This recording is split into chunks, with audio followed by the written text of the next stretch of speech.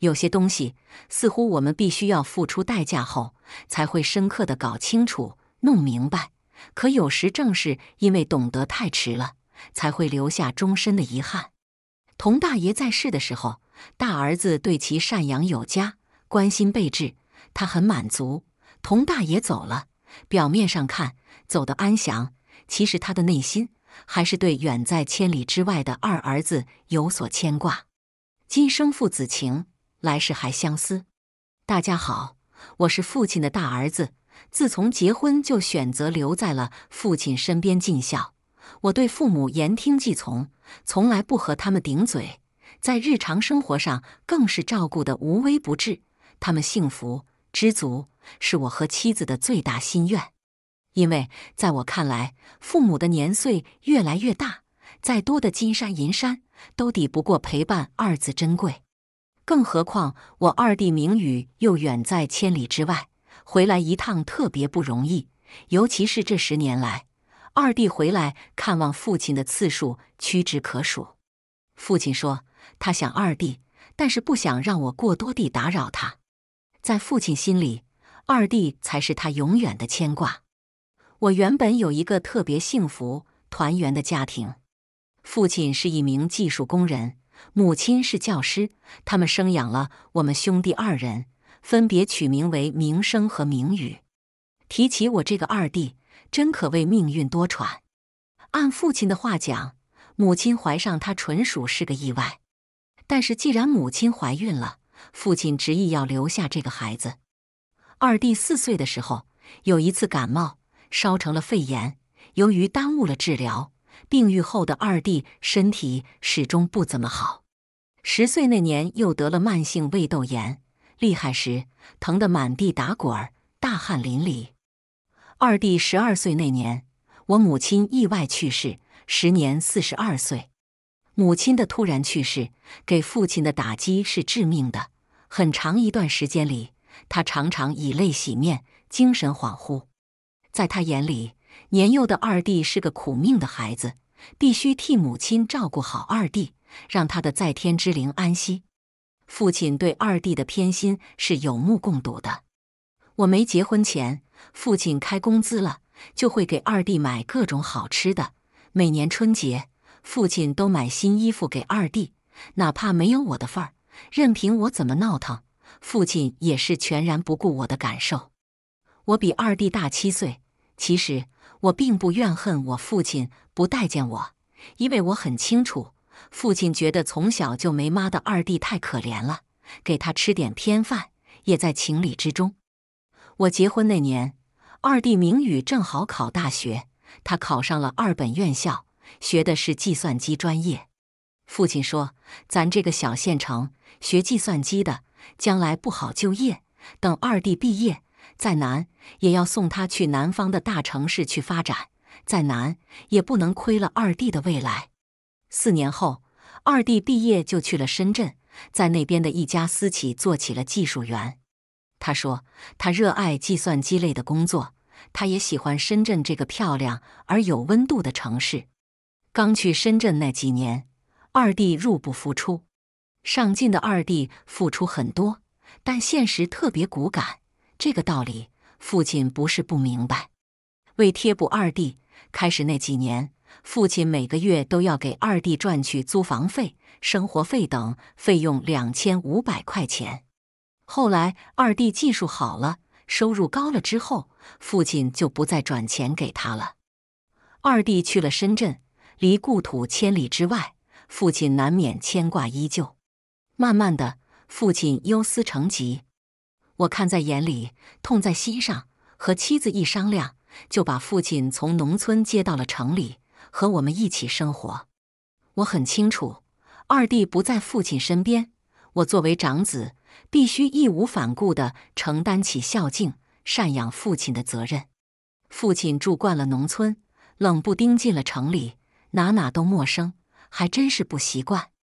我怕他白天寂寞，就给他去宠物市场买了一条小狗回来，每天让父亲拉着他到小区、公园里溜达散心。父亲在农村时，有事儿没事儿的就爱看钓鱼。他不是不想钓鱼，而是不舍得花那多钱去买钓具。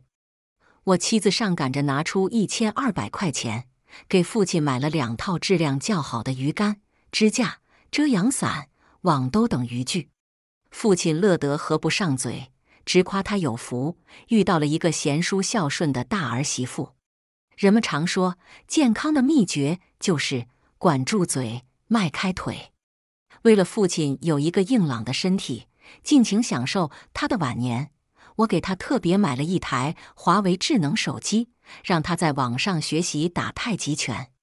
别看父亲年纪大了，可悟性一点也不输给年轻人。他学了三个月，终于可以勇敢的去河滨公园的广场上露面打太极拳了。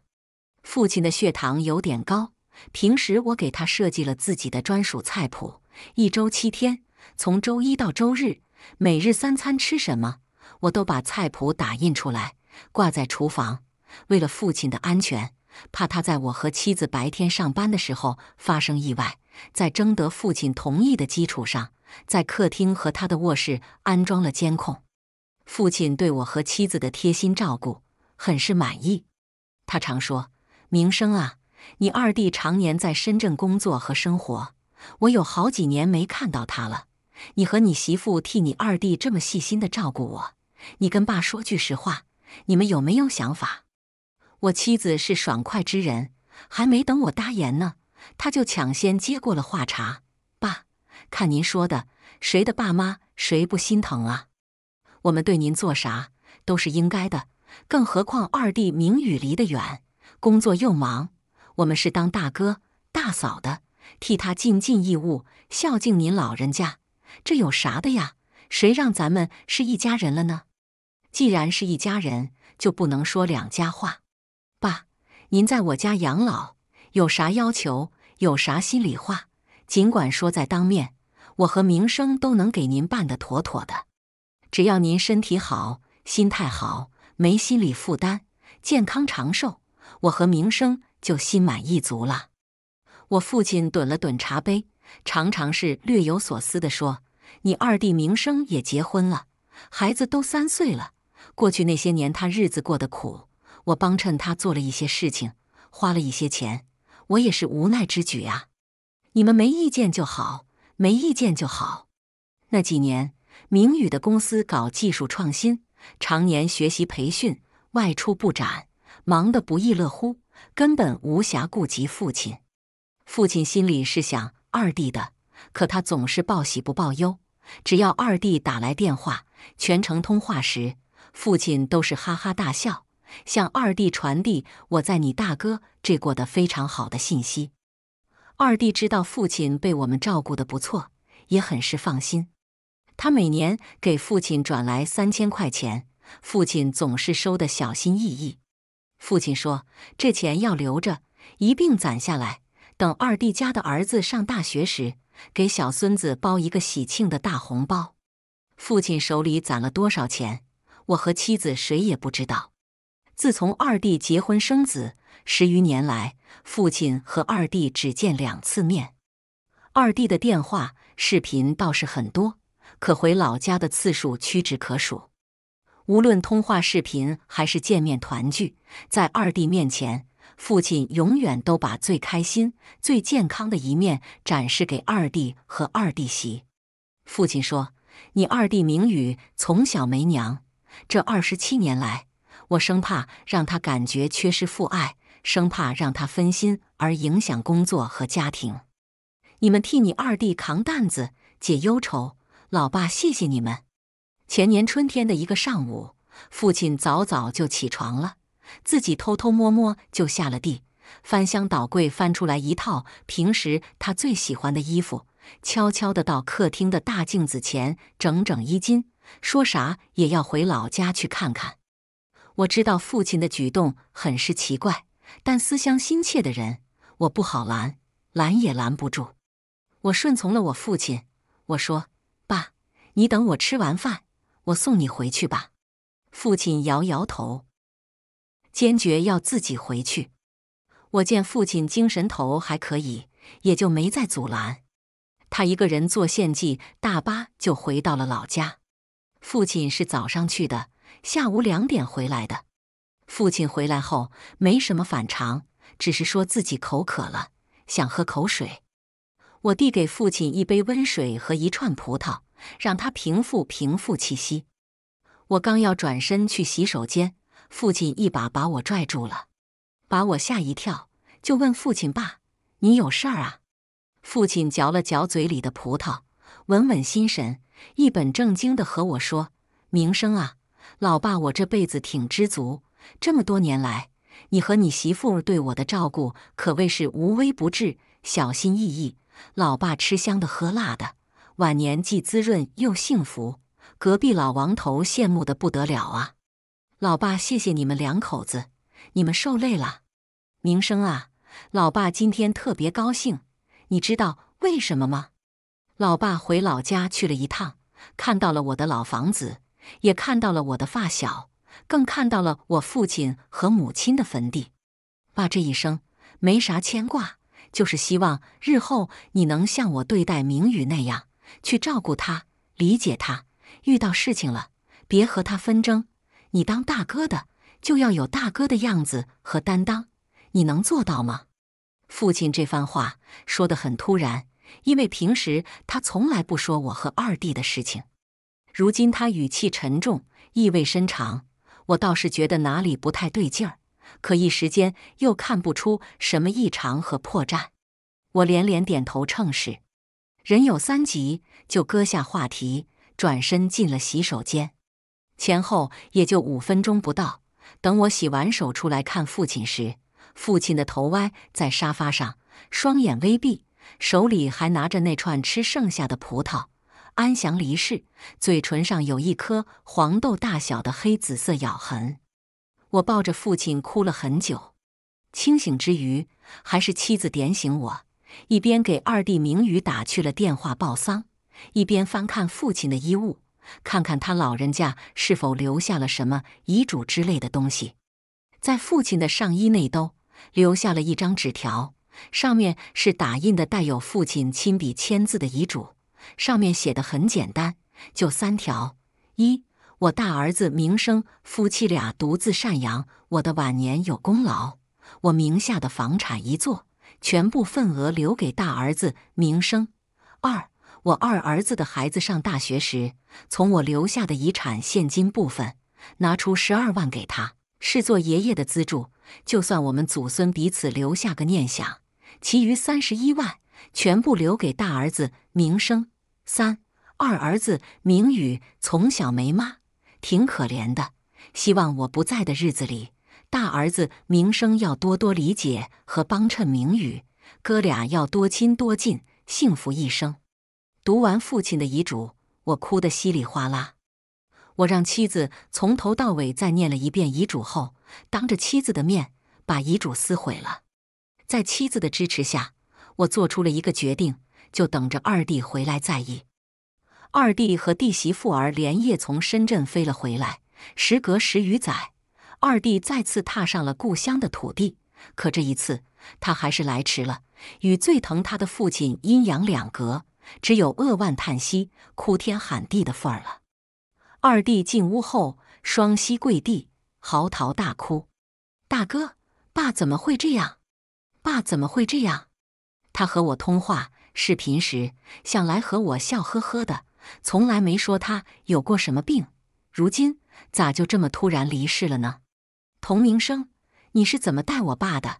你说呀，你说呀。面对二弟的质问，我一声不吭。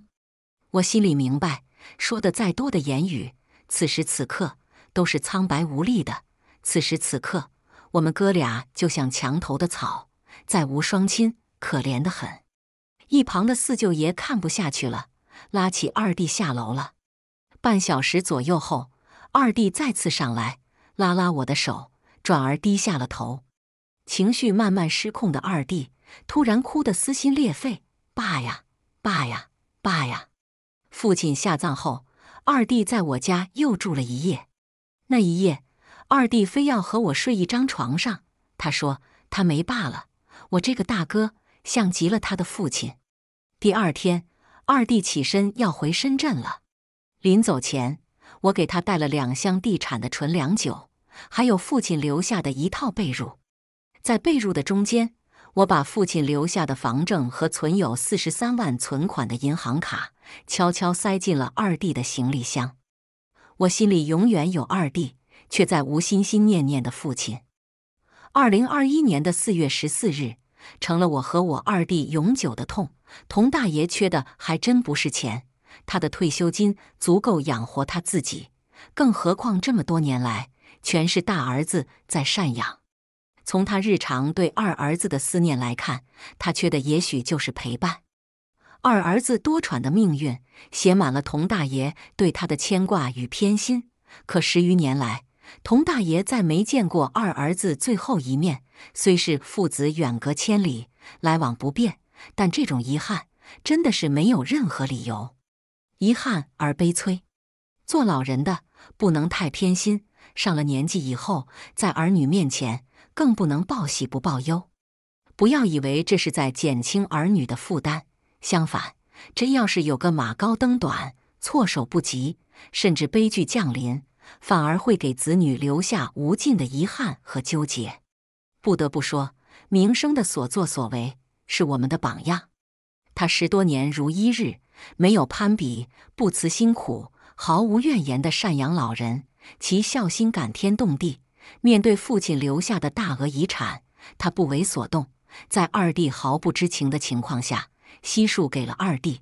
其行为不仅不是违背了父亲的遗嘱，更是有责任、有爱心、有担当的最有颜色和最具亲和力的表现。给名声点赞，愿忠孝传承，愿世间风景皆如你我期盼之靓丽美好。朋友们，你们觉得呢？欢迎留言评论。下面请听另一则故事：男人才善变。生完孩子之后，老公以为他吃定了我，对我越来越敷衍。因为不想陪他兄弟吃饭，他当众打了我一个嘴巴子，不但骂我矫情，还说要治治我的公主病。很快他就知道，离了我他屁都不是。下班的时候，老公秦宇破天荒的来公司接我，说想好好跟我吃顿饭。原本我以为这是他给我准备的一个惊喜，毕竟昨晚我们刚因为带孩子的事情吵了一架。半夜孩子哭了，我睡眼惺忪的起来哄孩子，秦宇不但不帮忙，反而因为被孩子吵醒了而大发雷霆，甚至他还跑到隔壁屋去睡了。当时我的暴脾气就忍不住了。等孩子睡着，我去厨房灌了一壶凉水。浇了他一头，他被浇醒，对我破口大骂。我冷冷的看着他，你再骂一句，我下次泼你硫酸，你信不信？大概我当时的表现太过骇人，他吓得马上噤了声。早上出门的时候，他还冲我抱怨：“我有起床气，你又不是不知道。我昨晚实在太困了，就说了你几句，你就浇我一头，这要浇坏了。”连连可就没有爸爸了。我望着眼前这个嬉皮笑脸的男人，心里有一些苍凉。这个结婚前我咳嗽一声都要半夜起来给我熬冰糖梨水的人，现在竟然有起床气了。不过自从我生了孩子，秦宇的却变了。生孩子之前，他信誓旦旦，他说等孩子落地，有他有他妈，我就负责生一下。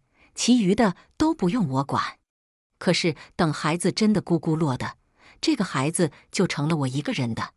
让他抱孩子，他不会；让他给孩子冲奶粉，他用冷水冲到孩子拉肚子。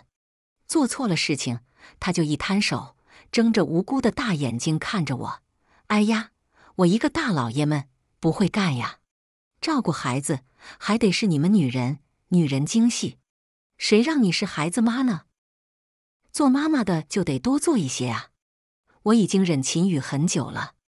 我盯着他，半开玩笑似的说：“与其丧偶式育儿，不如真丧偶。”他脸色难看：“你是不是有病？连个玩笑都开不得了？”现在我冷哼：“我也不过是开个玩笑，你急什么呀？”他看了我半晌，气呼呼的摔门而去。婆婆在一旁抱怨：“你一个女人。”嘴巴这么厉害干什么？就不能让着他点？我问我婆婆：“你儿子怎么就不能让着点我？”婆婆哑口无言，使出撒手锏：“就吵吵吧，再吵吵下去，你也不用让我给你看孩子了。我眼不见心不烦。我是远嫁，休完产假之后，只能婆婆来带孩子。”她明明带的是姓着她儿子姓氏的孙女，但口口声声都是帮我带孩子，好像她儿子是个死人。但我赶着出门上班，没有跟婆婆继续吵下去。说到底，我跟婆婆的矛盾还是跟秦宇的矛盾。我没必要跟婆婆吵。白天的时候，我一直在思考，我跟秦宇的婚姻到底还有没有必要持续下去。我有工作。有独立养活孩子的能力，虽然我没有房子，但我婚前还有一笔存款，付个房子的首付没有问题。离婚之后，唯一不方便的可能就是我婆婆没有办法给我继续带孩子了，但孩子可以送托班，可以请育儿嫂，可以麻烦我妈来照顾。这样一算，我就发现我的生活好像离了秦宇也没什么不行。如果不考虑我们之间的感情的话，我诚心诚意的给秦宇发了一条微信，坦诚了我目前的想法。我嫁给你的时候，并不图你大富大贵，现在我依旧这个想法。我希望夫妻间可以互相扶持、互相体谅，共同抚育孩子长大。我希望你能在这个基础上做出改变。如果你拒绝改变，我想我们也没有必要再走下去了。发出去的时候，我是真心实意的，在挽回我们之间的感情。我总记得曾经那个因为我答应跟他在一起就满眼通红、喜极而泣的少年。那人曾说过，他会永远对我好，永远把我放在第一位，永远不让我受委屈。现在我不知道他还在不在了。我的微信发出去之后，便如石沉大海。在我渐次失望之际，秦宇便来接我下班了。他像没事人一样，笑嘻嘻说：“你气性咋这么大？我被你浇了一头水都没怎样，你这个行凶的倒委屈上了。我跟你道歉，是我做错了，行不行？今天我特意跟妈说了，让她晚上帮你带回孩子，我带你去松快松快。我纠正他，孩子是咱俩的，啥叫帮我带孩子？”他一愣，脸色闪过一丝不快，但还是隐忍着说：“行行行，帮咱俩带孩子。你这个人就是这样，咱俩夫妻一体，你还老跟我分什么你我，这不是让人生分吗？”他嘟嘟囔囔的，却诚然忘了，假使真的夫妻一体，不用分你我，怎么没见他把他的房子写上我的名？我知道他还是没有意识到他的问题。但他毕竟在努力做出改变，我也不想扫兴，就没有再说什么。直到我发现他所谓的好好跟我吃顿饭，竟然是给他兄弟的三过生日。在秦宇把我带进那家高级酒店的时候，我其实心里是想原谅他的。这家酒店以贵出名，人均没有两三千下不来，所以我在大堂里就打趣问他，请我松快松快。真舍得花四五千，秦宇脸上闪过一丝尴尬，但很快说：“老婆，你又上班又带小孩，确实辛苦。今天难得有这个机会放松一下，咱们就别想别的。”我不疑有他，跟他进了单间，结果一进去就发现房间里已经坐满了人，主座上坐了一个面若桃花的年轻女孩，她旁边。坐着秦宇的发小刘月，两人贴着脸说话，看上去亲密无间。看见这个场面，我心里已经明了，这根本不是秦宇给我道歉的局。见我和秦宇进门，刘月马上起身，拉着那女孩的手就冲我们走过来。先是介绍说这是他的女朋友，后给女孩介绍我和秦宇，介绍一下哈，我发小秦宇，他媳妇苏荷。谢谢你俩来参加雪儿的十九岁生日会。听了刘月的话，我本能的想吐，不为别的，只为刘月早就已经结婚了，而且还是高攀了我们当地一个白富美，目前是两个孩子的爹。我早听秦宇说刘月婚外不老实，没想到他居然敢这么大张旗鼓给女朋友办生日会。我用余光扫视了整个屋里的宾客，这才发现，其余洋溢着笑脸的七八人，全都是秦宇和刘月的发小，其中还有两名女性。秦宇很熟练地跟女孩打招呼，还介绍说。我老婆他们公司的网红可多了，到时候让他给你联系联系，看看能不能去他们公司。刘月则笑着催那个女孩加我微信。女孩笑意盈盈走到我身边，细声细气叫我姐姐，说特别感谢我能来她的生日会。一切还有什么不明白的呢？秦宇之所以会这么快跟我道歉，之所以提出让我松快松快。不过是因为他哥们的三想当网红，而我所在的公司培养了很多网红，而他之所以哈着刘月，也不过因为刘月是他的甲方，拿捏着他在公司的业绩命脉。我只是秦宇用来讨好他哥们刘月的工具，讨好的方式是讨好刘月的三。望着女孩那张粉红的脸和秦宇阴切的表情。我只觉得一切都令我恶心，想吐的感觉令我本能的转身，想要往外冲。我一刻都无法再在此地停留。见我要走，女孩马上撅起嘴，而刘月马上冷了脸。秦宇则心领神会一样，伸手拦我。我执意要走，推开秦宇的手，却因为跟他拉扯，不小心撞到了餐桌上，站立不稳。我本能地去扶，却又不小心打翻了餐桌上的一瓶洋酒。随着酒瓶落地，全场鸦雀无声。紧接着，女孩哇地一声哭了。我的十九岁生日，呜呜呜！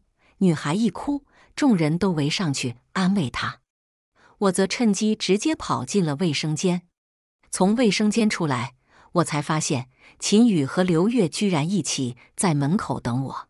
我要走。秦宇就拦我，问他想干什么，他反问我想干什么。苏荷，今天是月哥女朋友的生日，你这么闹，想干什么呀？人家好心好意请我们来一起庆祝生日，你倒好，拖着个死人脸，还把那么贵一瓶酒打翻了。你知道那瓶酒多少钱吗？九万八，九万八！秦宇气急败坏，就差指着我鼻子了。刘月则阴阳怪气：“何姐，打碎了酒，我不怪你，但是你把我的女人弄哭了，我今天就得找你说道说道了。第一，我不打女人；第二，我不是不讲道理的人。只要你给雪儿敬一杯道歉，酒我不用你赔。”望着这两个恬不知耻的男人，我的胃又在翻滚，但我必须把我的心里话摔到他们头上。我跟秦宇说。你知道你为啥不如刘月吗？刘月为了个三都能出来逼迫你老婆道歉，你还帮着刘月，你这辈子就当刘月的狗吧。又跟刘月说九万八是吧？你老婆知道你在外面花九万八买酒给三喝吗？你一个赘婿不守好难得，出来丢人现眼，我看你是好日子不想过了。刘月被我骂中心事，立刻翻了脸。上手就把我往包间里拖。秦宇，你老婆你自己不会教育，今天我就替你教育教育。我剧烈挣扎，可无奈没有刘月力气大，只能被他拖进了包间。见我被拖进来，年轻女孩眼中闪过一丝得瑟。刘月等秦宇也进了门，让其他人把我摁住，就去把门反锁了。其中一个一边使劲儿钳住我的手。一边劝我服软，就道个歉的事，你非搞成这样，这是图什么呢？赶紧跟刘哥说句软话，这个事就过去了。我冷冷地剜了他一眼：“你们这是非法拘禁，你还是担心你自己吧？除非你们今天晚上把我杀了，否则连秦宇算在内，有一个算一个，我让你们吃不了兜着走。刘月一个赘婿，可包庇不了你们犯罪。”牵着我手的人明显被我吓倒了，连摁着我的手都松了。我了解秦宇的这些朋友，有一个算一个，都是酒囊饭袋。别看平常在女人跟前吆五喝六的，但真让他们到警察跟前走一趟，保管吓得话都说不利索。他们现在这么对我，不过是因为从前没有遇到过跟他们硬杠的女人。他们从前就看不惯我，看不惯我学历比秦宇高，看不惯我挣的比秦宇多，更看不惯秦宇对我好。刘月听他老婆的话，那是因为他老婆有个好老子。我有什么呢？不过是个县城穷酸老师家的闺女，凭什么也要把尾巴翘到天上去？他们看不惯，所以他们要把我的尾巴摁下来。可惜他们小瞧了我。我的世界里就没有服软二字。小时候，我奶奶不喜欢我，污蔑我偷东西，我爸差点没打死我，我也咬死不认自己偷了东西。不但不认，我还破口大骂，骂我奶是个老巫婆，骂我爸是个乌龟大王八，骂偷东西的死全家，编瞎话的不得好死，骂到前屋后舍都知道，我爸要打死他的亲闺女。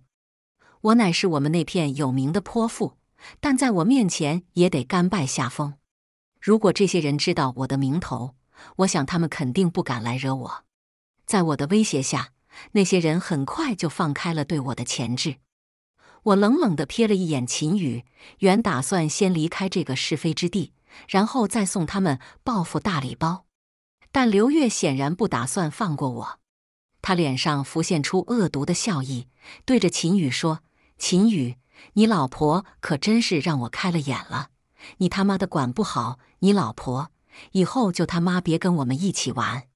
秦宇脸上骤然一僵，而剩下的几个狗崽子也心领神会。兄弟甲说：“可，原来我以为找个大学生老婆能有啥不一样呢？原来真的不一样。成事不足败事有余，还不如找个懂事的漂亮姑娘。”兄弟乙说：“你这是找老婆吗？你这是找了个老妈呀！天天管东管西，这不让干，那不允许。你们俩睡觉是不是他也得在你上头啊？”其他人哈哈大笑。秦宇脸色已经黑如锅底。刘月啧啧有声：“人家是个独立女性，我原本以为她受的教育多，现在看还真的不够多。我知道他们想干什么。”他们想激怒秦宇，逼他对我动手，这样既收拾了我，又跟他们撇清了关系。好笑的是，他们也达到了他们的目的。我分明看见秦宇的拳头都捏起来了，他被他们的话刺中了心脏。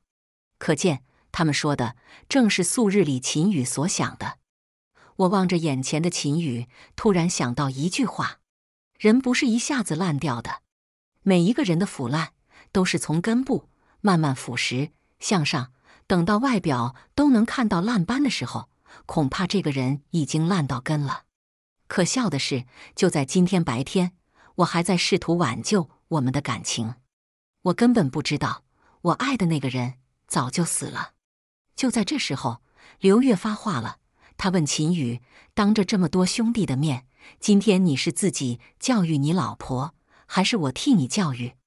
秦宇就站在离我不远的地方，眼中闪过一丝犹豫，但很快就说他自己来教育。在我的怒视中，秦宇慢慢向我走来，厉声问我：“你道歉还是不道歉？”我用出全身力气告诉他：“我们离婚吧，傻逼！”我转身就走。秦宇在我身后大喊：“你给我站住！”我当然不听他的。秦宇跟上来扒拉我。你说什么？离婚？你搞得我在兄弟面前毫无面子，你还敢提离婚？他们说的对，你这个女人就是欠收拾。秦宇高高扬起的手甩在我脸上，我猝不及防被打了一个耳光。你今天必须给刘月道歉，你不道歉就甭想给老子离开这儿。从小到大，这是我第一次被人扇耳光，与疼痛比起来，更多的是羞耻感。我的脸上像起了一层火，我发愣的时候，秦宇像打上了瘾，另一个耳光又狠狠地甩了过来。就你长嘴了，你不是刚吗？不是矫情吗？今天老子就治治你的公主病。他咬牙切齿地看着我，脸上的肌肉都在颤动，显然是恨我恨到了极处。而刘月和他的兄弟们则意犹未尽地看着这一切，他们每个人眼睛里都闪烁着期待，嘴角带着隐秘的微笑，就差给秦羽摇旗呐喊了：“揍他，揍他，狠狠的揍他！这个女人就他妈的欠揍！”我仿佛听见他们心底的声音。这是一群男人对一个女人围猎的狂欢。我知道我应该退避，但我实在太生气了。就凭他们是男人，他们力气大，我就该退避吗？去他妈的！我仿佛听见我血管里的血流爆破的声音。我冷冷地望着秦宇，道歉。我狠狠顶上他的裆部，在他发出的哀嚎中，我说：“好啊，我道歉。”我随手操起最近的酒瓶，哐一声就往刘月的头上甩去。这么道歉够不够啊？一个盘子飞向狗腿子甲，淋了他一头菜汤。这样够不够？一个水壶飞向狗腿子乙，烫得他嗷嗷叫唤。还是这样？一时之间，整个包厢里噼里啪啦响作一片。服务员很快破门而入。被里头的景象惊呆了，而我抓紧最后的时间，用酒瓶又给了秦宇一下，把他整个砸懵了。道歉，你们这群狗匹配吗？你和你这帮所谓的兄弟，不过都是刘月的狗。你们这群狗崽子，长得像个人，其实猪狗不如。你们上赶着给刘月的三过生日，不就是因为刘月是你们的甲方吗？为了点钱，脸都不要了。管三姐叫嫂子，这么喜欢三姐，怎么不领回去给自己当妈呢？一群围着屎巴巴的苍蝇，恶心！我当着这群人的面，把他们有意的面具戳破，令在场所有人都很没脸。所有人脸上的表情又尴尬又愤怒，精彩极了。因为我们砸坏了酒店的东西，酒店方面报了警，警察很快来了，我立刻揪住秦宇。把他和他兄弟们一起暴力对我的事情全说了，因为要做笔录，除了我和秦宇之外，饭局上所有人也都被带到了派出所。刘月和那群乌合之众是前后脚进的派出所，他们一起大摇大摆走进来，仿佛很笃定警察们不能拿他们怎么样。秦宇则一直在看刘月，我知道他这是习惯了做事前看刘月脸色。可刘月看都没看秦宇，深渊一样跟警察说：“他是个守法公民，绝对没做违法违纪的事情。”原本呢，今天我是叫一帮兄弟来一起乐呵乐呵，谁知道秦宇和他老婆当着所有人面就吵起来了。吵着吵着，秦宇的老婆要走，我当大哥的不能不管。刘月的谎话，张嘴就来，我就想让他俩把心结打开。才把他老婆劝回了包厢。可能我动作大了一些，毕竟我是个糙老爷们。但是我真没打他，绝对绝对没有动手。说着说着，他脸上居然还显露出一丝丝委屈。你们可以看录像吗？饭店走廊都有录像。等他说到这句话，我才意识到刘月就是笃定了他对我的拉扯构不成证据。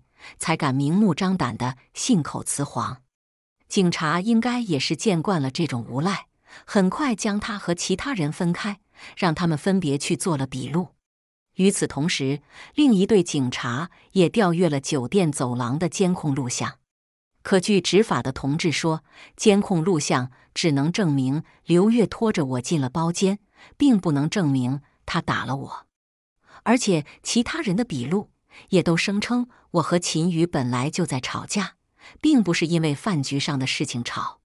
警察们很同情我的遭遇，但因确实没有他们打我的证据，最后只好把其他人都批评教育了一番，就让他们走了。而秦宇虽然打了我耳光，可我也用酒瓶砸破了他的头。警察判定我们这属于互殴。如果两个人都同意调解，就可以直接签字走人。因为想着我应该尽快把孩子带走，我选择了同意调解。从派出所出来之后，秦宇居然第一时间给刘月打了个电话。尽管电话那头的刘月根本看不到秦宇的样子，但秦宇还是在点头哈腰着跟刘月道歉。夜里安静，我听见电话那头的刘月说：“闹成这样，咱还怎么处？你老婆这样牛逼，我看你也不需要我这种兄弟。哥奉劝你一句，老婆你还是要管好。”不该说的不要说，要不然动不动搞到派出所，大家都扫兴。秦宇一个劲儿叫哥，说自己错了，可对面还是挂了电话。我冷冷听着这一切，痛快地招停了一辆出租车。在车上，我更坚定了一件事：刘月和那些狗腿子们必须被我整倒，我要让他们不死也掉十八层皮。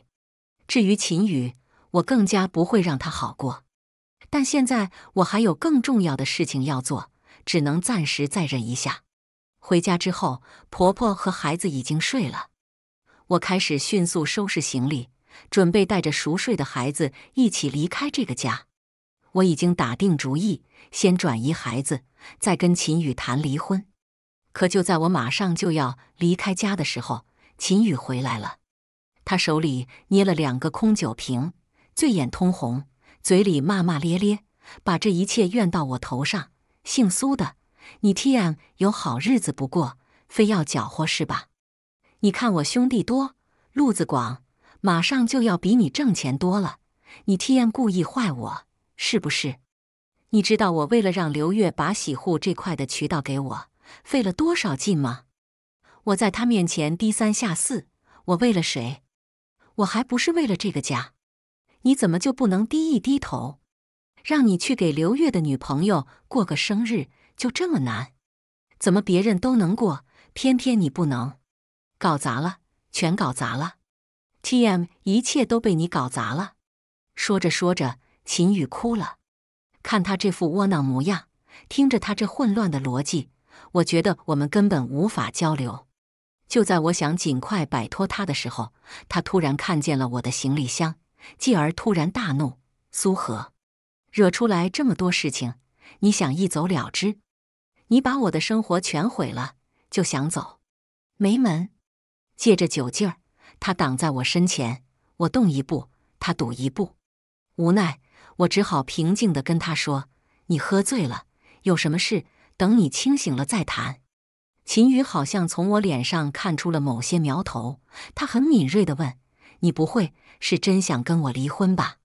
我没有否认，而我的不否认令他面上登时就青筋四起。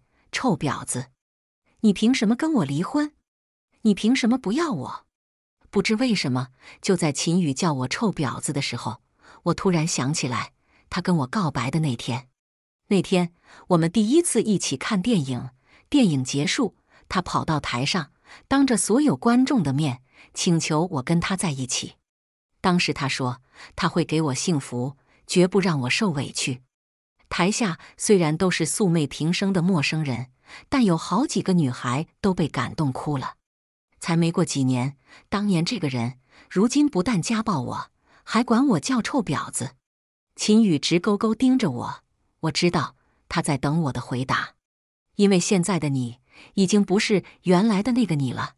所以我要离婚，他仿佛听不懂一样，呆愣愣看我。当初我嫁给你，什么都不要，就是图你对我好。现在的你，除了伤害我，什么都给不了我了。所以离了吧。我尽量平静的去表达，但其实内心非常悲伤。听了我的话，秦宇的表情突然僵了，但很快他就开始疯狂大笑。苏荷呀，苏荷。你是个什么东西呀？跟我说这些屁话！嫁给我，你还想要啥？你一个跟前男友同居了两年、跟二婚差不多的女人，除了我谁会要你？你 T M 肚子里死没死过人我都不知道。我娶你，你还想让我花钱？真 T M 有意思！狂笑过后，秦宇酒劲上来，伸手就想掐我脖子，被我躲开。他已经完全醉了。虽然瘫倒在地上，却还在警告我：明天一大早，你就给我去跟刘月道歉。你不管想什么办法，都要求他原谅，否则我弄不死你。”我苦笑，这个男人已经不算个人了。秦宇，明天醒了酒，咱俩去办离婚。听到“离婚”这两个字，秦宇一下子把手边的酒瓶砸到了天花板上。孩子听到声音，吓得哇哇大哭。婆婆也被惊醒，抱着孩子跑了出来。见了婆婆，秦宇虽然站都站不起来了，但嘴却还硬着：“给老子滚蛋！你滚了，可千万别求着回来。你带着一个赔钱货，我看还有谁会要你？”我从婆婆怀里抱过孩子，拉着行李箱就走了。坐在去宾馆的车上，我泪流满面。但我也很清楚，我仍然是幸运的，还有一份收入稳定的工作，这让我和孩子不至于无处可去。孩子哭累了睡了，我这才发现抱着孩子，我的手一直在抖。我心里一直在思考，秦宇到底怎么了？当年的他和现在这个他完全不是同一个人。我和秦宇是大学同学，我的初恋是他的室友。大四那年。初恋劈腿，失恋的我伤心催干，一个人考上了上海的研究生。散伙饭的时候，秦宇过来加我微信，说他找到了上海的工作，以后我们都到了上海，说不定能有个照应。之后我们确实都去了上海，秦宇经常找我，请我吃饭，请我看展，我们才慢慢变熟悉。后来他追我，我才知道。原来他整整暗恋了我四年。他说他是为了我才来的上海，并不是找到了工作才来的上海。那个时候，我虽然有点感动，但总觉得他目睹了我和初恋的分合，怕他介意。但是他跟我说，初恋失去我是初恋不懂珍惜，他会珍惜我的。我还是没答应。直到我毕业后第一份工作，累到崩溃，发烧四十度。他扛着我去医院，照顾了我一个多礼拜。他照顾我，照顾的无微不至，甚至连内裤都帮我洗。我很难不感动。我知道他家里条件一般，能力也一般，但我跟他在一起，原就不是图荣华富贵。我觉得我不缺头脑和手脚，什么样的日子靠自己挣不来？我选他，原本就图他对我好。就这样，在上海打拼的第二年，正好有个不错的工作机会，我同意跟他回了他老家所在的二线城市，然后我们就结婚了。结婚的时候，他爸爸刚好动手术，他说家里拿不出那么多钱来，问我能不能不给彩礼。我心疼他，同意了。他当时说娶到我是他的福气，会一辈子对我好。现在看来。是我太傻了，我竟然试图相信一个男人的誓言。我搂紧怀里的孩子，告诉自己这是我最后一次允许自己为秦宇掉眼泪。从今以后，他在我的生活里就算翻篇了。我找了一家高档宾馆，安顿好孩子后，第一件事就是给刘月的老婆池娜娜打电话，告诉她今晚的事情。我知道这个地方的很多女性。对于老公出轨，一直是采取睁一只眼闭一只眼的态度。只要你还肯回家，我便当外边的事情不存在。池娜娜虽然是个富家女，但从前聚会接触下来，她也是一副贤妻良母的做派。我不知道告诉她对不对，不知道她会不会怪我多事，但我总要尽我自己的心。如果她知道后跟刘月彻底闹翻，这与他与我都是大好事一件。如果他知道后依旧选择跟刘月继续过，那我也尊重他的选择。池娜娜听我在电话里将事情复述了一遍，整个过程她一句话都没说。等我全讲完了，那边也只回了我三个字：“知道了。”然后便把电话挂了。我叹了一口气，为没有争取到池娜娜的统一战线而感到一丝遗憾。但我很快便打起精神，准备好好睡一觉。明天又是新的一天，总会想到办法收拾刘月的。第二天，等待我的果然是一个令人振奋的消息。我还没睡醒，秦宇就给我打电话。他急赤白赖地质问我：“你是不是有病？为什么要跟刘月的老婆说昨天的事？刘月他老婆让他净身出户，你知道吗？刘月完了，他是我公司的大甲方，他完了，我也完了。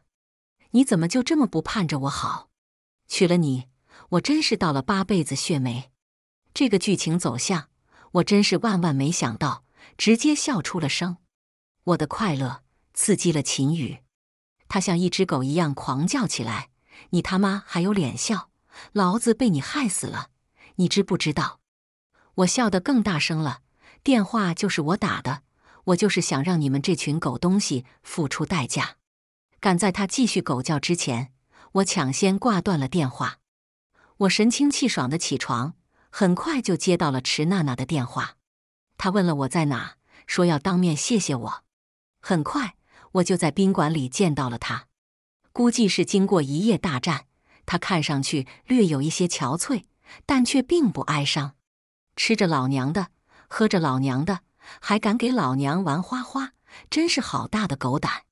老娘不过是看他长得好，给他了个好脸，就想骑在老娘脖子上拉屎，真晦气！让他滚了，清静。平日里文静淑女的池娜娜，一口一个老娘，竟然丝毫不觉得违和，反而多了一丝潇洒。我忍不住表示：“原来真实的你是这样的呀，这样可真好。”池娜娜看着我，突然红了眼眶。我十八岁认识她，她说喜欢温柔淑女，我在她面前便再不肯高声说话。那个时候她对我多好啊！她去当兵。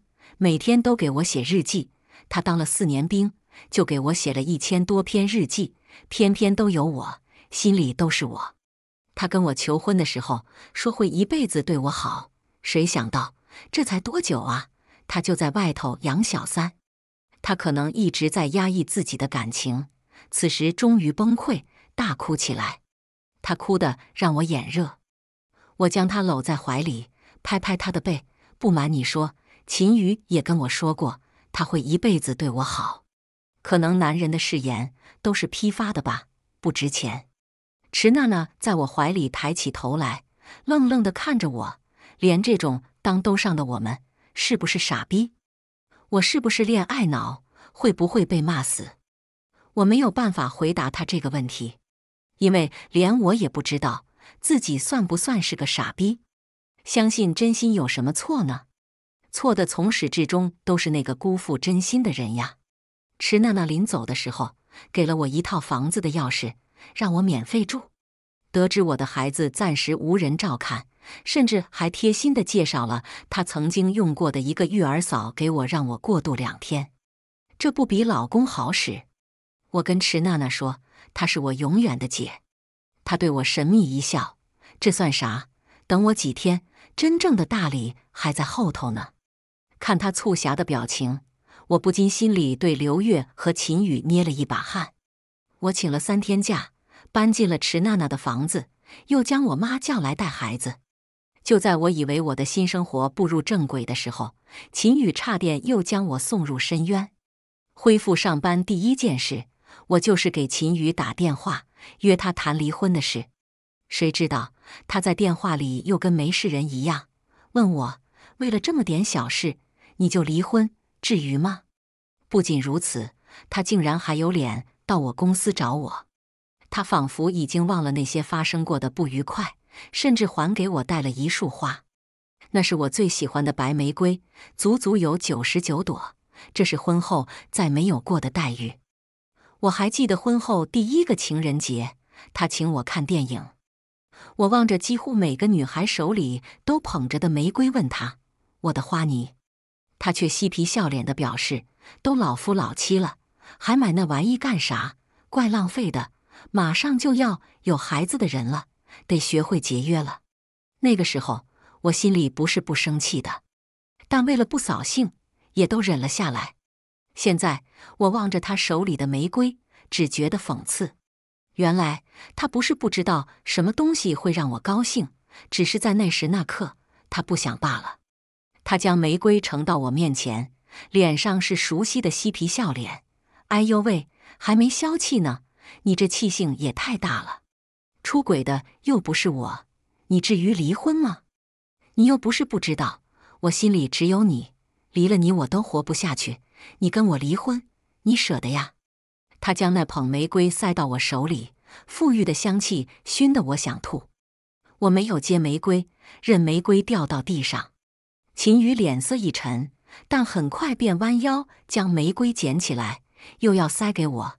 我打你是我不对，但你也打了我，是不是？你打的我还更严重呢，我都气消了，你还气啥？再说了，我也不是无缘无故发火，是不是？我那天发火是因为你太任性了。就拿刘月这事来说，我巴结刘月，巴结刘月的三，为了谁？还不是为了咱这个家？我就能受委屈，你咋就不能受？你都是做妻子的人了。怎么就不能为我吃一点委屈呢？他的话实在让我恶心透顶。他的这套腐烂透顶的价值观，从前我只是揣测，都觉得恶心。现在他竟然理直气壮的拿到我面前来要跟我邀功，我忍无可忍，让他滚。秦宇大概觉得他的面子又受到了挑衅，脸色重新变得很难看。你差不多得了啊！这句话的潜台词分明是“别给脸，不要脸”。我直视着他，几乎用尽了全身的力气让他滚。整个公司同事的视线纷纷向我们聚焦。秦宇勃然变色：“你别后悔。”我说：“明天民政局离婚，谁不去谁是孙子。”第二天，我去民政局等他离婚。但是却接到了我妈的电话，说秦宇趁他带孩子下楼的功夫，把孩子抢跑了。还没等我给秦宇打电话，秦宇竟然给我发了一段视频。视频里，秦宇正摁着孩子的屁股打，孩子哇哇大哭，而秦宇边打边骂：“让你不学好，什么玩意都吃，不给你个教训，你就不知道什么是规矩。”我惊怒交加，万万没有想到。秦宇这个王八蛋竟然会用孩子威胁我，孩子哭得我心都碎了。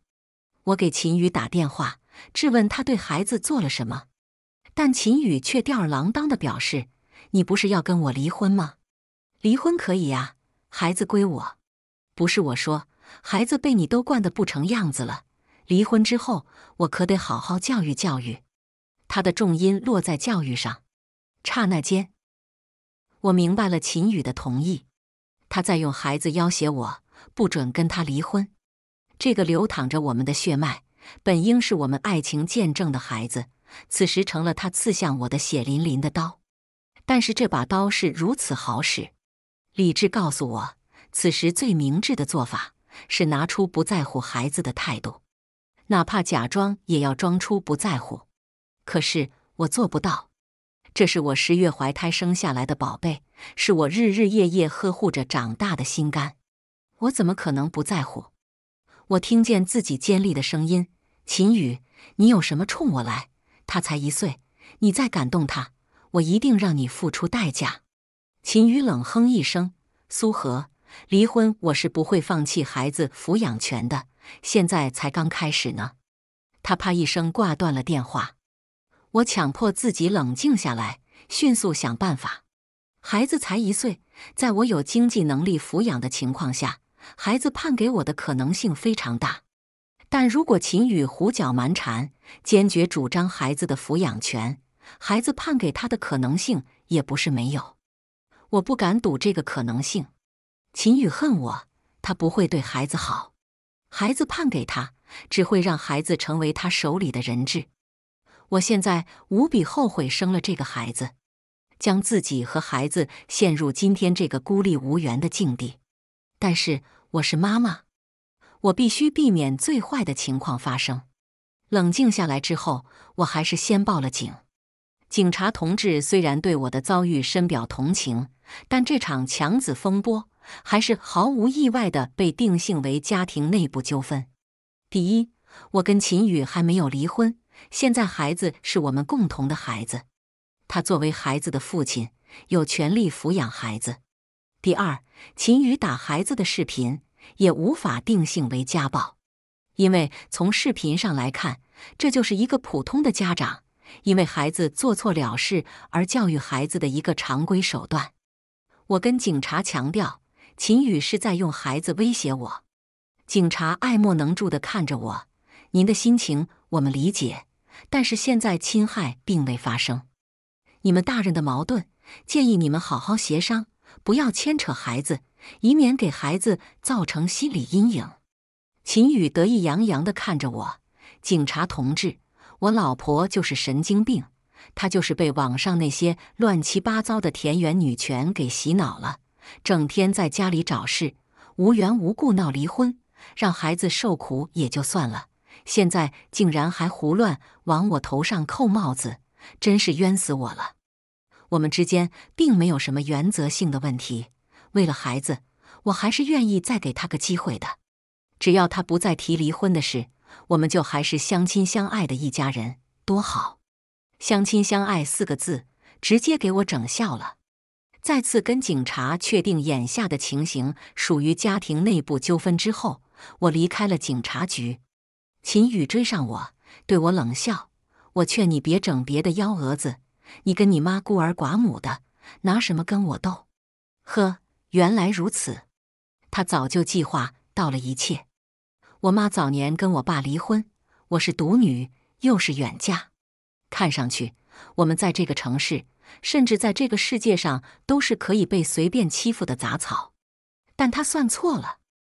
我妈是乡村女老师，她在教书的时候，不知道帮过多少留守儿童，那些孩子都叫我妈刘妈妈。现在这些留守儿童散落在各地，但只要我妈召唤，他们就会随时出现。我妈挨个给他们打电话，他们有男有女，有大老板，也有农民工。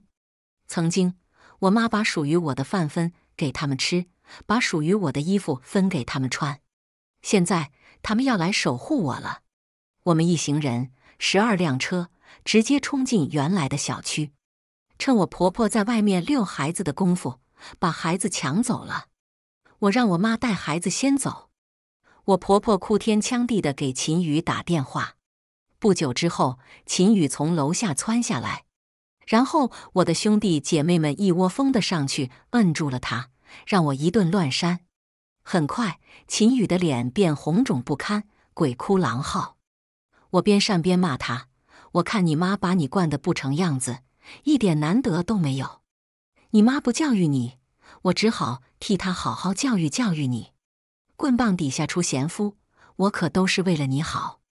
我想好了，你不是不想离婚吗？我也不想离了。我觉得这么揍着你玩挺好。以后我生气了，不高兴了。”我就把你拎出来揍一顿，疏肝解气。等我揍完了，秦宇也被放开了。他指着我破口大骂：“毒妇！我要报警！我要把你们都送进去！”我嘻嘻一笑：“随便报吧。”随即，我又在兄弟姐妹的护送下，直接上了楼。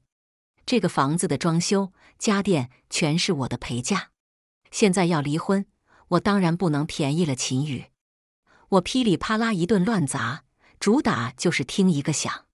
秦宇和我婆婆心疼的差点晕了过去，他们报了警。但虽然我们人多，但真正动手的只有我一个，其他人充其量算是壮胆和拉架的。而且秦宇的伤虽然看着骇人，但只是被扇耳光，除了疼点，也并没有给他的肉体造成什么实质性的侵害。况且。我还拿出了房子装修、购买家电的收据，所以这场闹剧最终还是被定性为家庭纠纷，希望我们内部解决。解决的方式就是秦宇要求离婚，房子、钱你一个也别想要。我哈哈大笑：“你的破房子，我住在里头还嫌晦气，留着给你当棺材吧。存款你少给我一分，那正好我还不离了。”我觉得揍着你玩也挺好，毕竟咱俩有那张证，我怎么揍你都是家庭内部纠纷。看着秦宇灰白的脸色，你甭说，还挺过瘾。还没等我跟秦宇彻底领离婚证，我又接到了池娜娜电话，让我去接受惊喜。我被车接到饭店的包厢，发现池娜娜把那天欺负我的所有人都聚集在一起了，也包括秦宇。他让他们挨个跟我道歉，两两组队，互相扇巴掌，谁的巴掌扇的响，就代表谁悔过的心最实在。我这个人喜欢实在人，谁最实在就跟谁签合同。那些狗腿子们原先为了合同可进八戒刘月，现在为了合同就可进互扇。刘月和秦宇组队，直到他俩互相把嘴巴扇出血，池娜娜才喊了停。她笑嘻嘻的转头看我，你看他俩像不像狗啊？你别说，还真像。他又转头问那俩狗：“你们到底离不离？”那两人痛哭流涕的表示离。